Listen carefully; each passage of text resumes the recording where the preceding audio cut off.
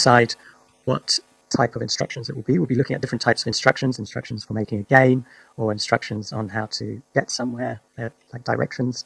Okay, subheadings. Okay, uh, so a lot of instructions need you to state what equipment you'll be using, and then of course how to uh, make whatever you're making. Okay, um, and then an opening sentence to encourage the readers to have a go.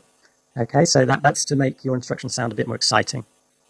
Uh, a clear list of equipment, ingredients needed. Okay, I mentioned that. Simple steps for each action in the method.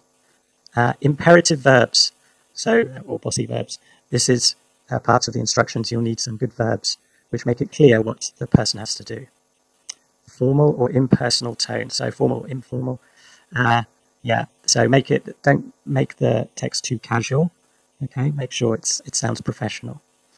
Um, bullet points. Yeah, um, when I was teaching instructions, some of my pupils, they just write a massive paragraph, and it's very difficult to follow instructions if you don't have bullet points.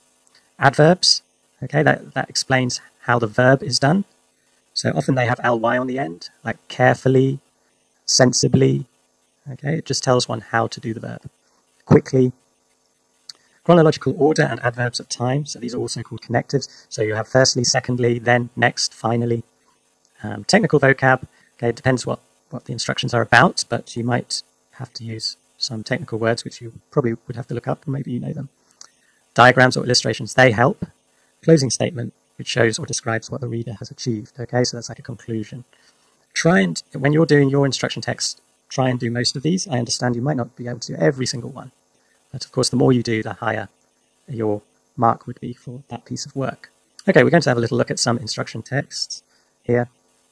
This is just the method, okay, for how to wash a baby. Now, these are all in the wrong order. It says dry the baby with a big towel, put the baby in the water, undress the baby, dress the baby, cover the baby's chest with talcum powder, brush the baby's hair. Okay, does anyone have any questions so far? No? Okay, that's good. Now, these are all in the wrong order. Does anybody know which one would go first? Okay, you, you don't dry, undress the baby. Let's see. There we go, number one. See, and it's this is uh, numbered, which I think is even better than bullet points, although you can use bullet points for the equipment. So this shows the order. What's next? Let's see. Yes, put the baby in the water. And next? Dress the baby while she's in the water? Let's have a look. Dry the baby, yeah. What's next? Let's have a look. Oh no, cover the baby's chest with talcum powder. Uh, I don't know if you know what talcum powder is, you don't need it all the time, but it's just to protect the baby's skin. Okay, it's like a cream or powder. Okay, and let's have a look what the last one is, dress the baby. And then finally, brush the baby's hair, okay? So that makes sense, this order. I would say, I think in these instructions there's some missing here because you don't just put the baby in the water. What else could you do? Because that's not really cleaning the baby, is it, if you just drop them in the water? Exactly, yeah. I would use some soap, maybe some shampoo in his hair, okay, these kind of things. Yeah, um, so I think there's some instructions missing there. Right, and here we have like uh, the subheadings, I suppose. So uh, first of all, you need the title, what the instructions are for. So in this case, it is how to wash a baby. Equipment, a list of things you might need. So towel, talcum powder, brush, bathtub, shower head, clean clothes, lukewarm water. That means the water has, with a baby, you have to be very careful that the water's not too hot. They say what you should do is you should dip your elbow in the water just to uh, test it because your elbow is a bit more sensitive to make sure the water's not too hot. Special baby soap and baby shampoo. Yeah, you can't, you, well, you can use normal soap, but it's better to use uh, special baby soap and shampoo. And then instructions and explanation of how you will use the things, okay? Now, this is a very basic layout for the instructions. You will, of course, be doing much better instructions. Um, you'll be using time connectives. Now, we spoke briefly about this. So you'll be using words like firstly, next, secondly, after that, then, later on. Yeah? Okay? Not all of these time connectives are useful, but, uh, and finally, in the end. Yeah? Okay, you won't use time connectives for surprise, but to show the order of what you're doing. Okay, now for these, also, uh, so we've got these time connect, uh, connectives I've chosen. First, secondly, after that, next. Okay, finally. But also, we spoke a bit about adverbs. Here are some adverbs. Notice they all have ly and am on the end. So carefully, gently, thoroughly, completely, lightly. Okay, a lot of adverbs have ly on the end, most of them. And an adverb does exactly what it says. You add it to a verb. So, um, for example, carefully wash, gently dry. Yeah, dry, wash, they're verbs. You're adding these adverbs to make it clear how to do the verb. Okay? So don't forget time connectives and adverbs. Right, so here we have an example of how we've improved the baby instructions. First, carefully undress the baby. Secondly, test the water temperature with your elbow. If the water is not too hot, uh, uh, put the baby in the water from top to bottom. Gently rub soap all over the uh, baby's body and hair. After that, thoroughly rinse all soap. Next, completely dry the baby, yeah? You don't leave part of the baby wet. Lightly cover the baby's chest with talcum powder. And here we have the time connectives. First, secondly, if, yeah. After that, next, now, finally. Yeah, it sounds a lot better to use different ways of starting the sentence. Um, it can sound a bit annoying if people write then, then, then each time, yeah? So try and use a different word at the start. And number it like this, okay? Like I said before, I had people writing these huge, great big paragraphs. And when you're following instructions, it's very difficult to uh, remember where you are if you don't have these numbers. If it's just in a paragraph, you can't find where you are in the text. Yeah, so that's why it's numbered. It's a lot clearer. Okay, so remember that. Add time connectives. That's the first, secondly. After that, next, now, finally. And add adverbs. You don't have to add an adverb in each sentence, but just some to make it clear how one should do it. Okay. Um, and then here we have the final part. Okay. Um, I think we'll have a look at some other instructions. I'll be sending you this, okay? So that was instructions for writing skills. Instructions for making a game. Now, some of you might want to write, it's up to you what you write instructions for, but some of you might want to do this one. Um, let's see, it takes a few minutes to load. Okay. Um, and this is how you might do instructions for writing a game. So, uh, need, first of all, you need the title of the game. Well, this looks like it's Snakes and Ladders, so that's the name of this game. There's other names for this game as well. Object of the game, so this is one of your subtitles. So you, you've got to say how the player will win. The object of the game is to get to the last square before the other players. This is a very small one. You only need to get up to 30. Most of them, I think, are 100 usually, but yeah. Okay, number of players. The game is best played with two to four players. I think you can have as many as you want, really, but maybe it gets a bit boring if there's too many players.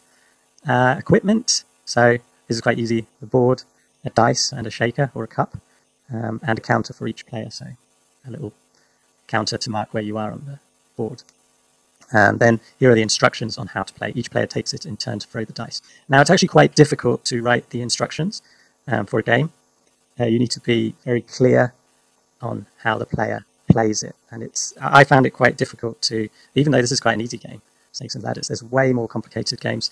Um, and it's not that easy to explain to somebody without showing them how to play the game. But you can do your best. Yeah, I think many of you would like to write instructions on how to play a game. Um, so this one is each player takes it in turn to throw the dice. A player must throw a six before she or he can start.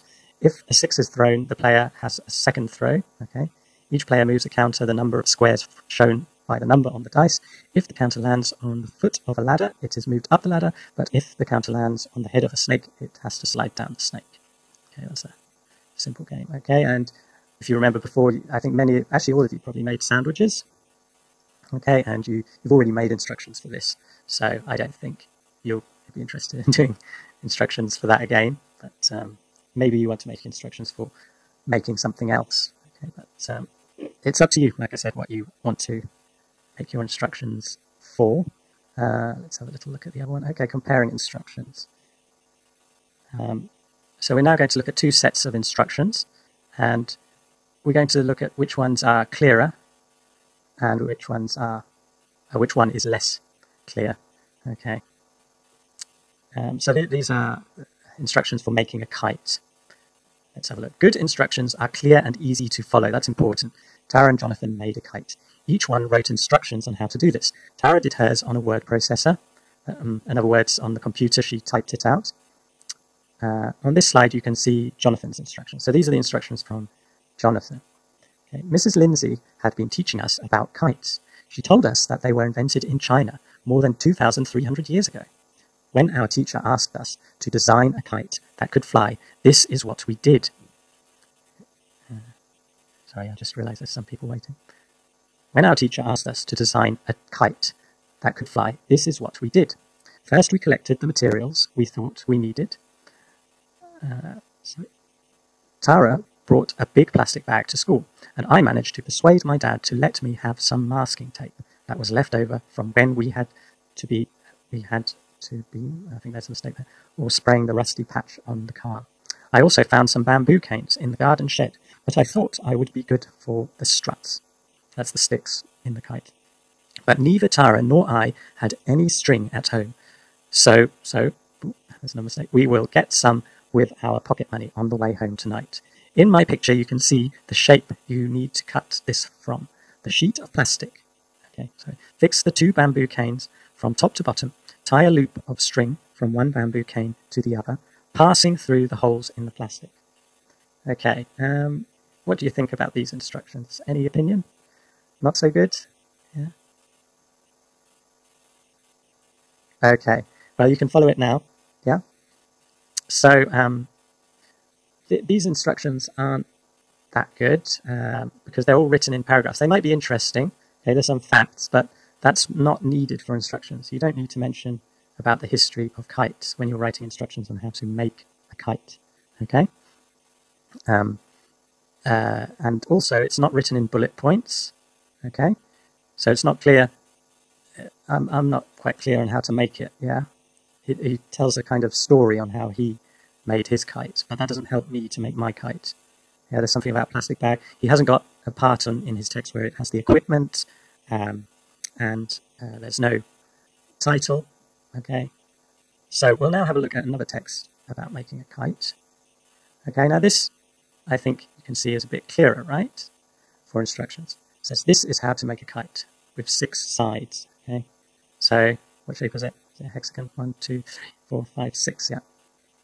So this is what you'll need. One large plastic bin liner. That's a big uh, plastic bag that you use for bins, big black ones.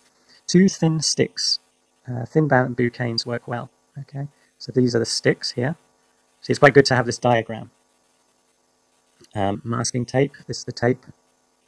Uh, a ball of string, okay, so yeah, you need to tie the string like this. Scissors, of course, for cutting the string and cutting various things. And then we have the instructions. And the instructions are numbered, so it's nice and clear. Okay, so yeah, cut the plastic to the correct shape with the widest part about a quarter down from the top. Yeah, I won't read all the instructions, okay? But I think it's clear that this one is a lot better. Okay, so when you write your instructions, make sure they're more like this and not so much like the one before, if I can go back. Uh. This is not the correct way to write instructions, yeah? So you need title and subheadings, so equipment, instructions, yeah? Maybe, maybe a diagram. You might not need a diagram.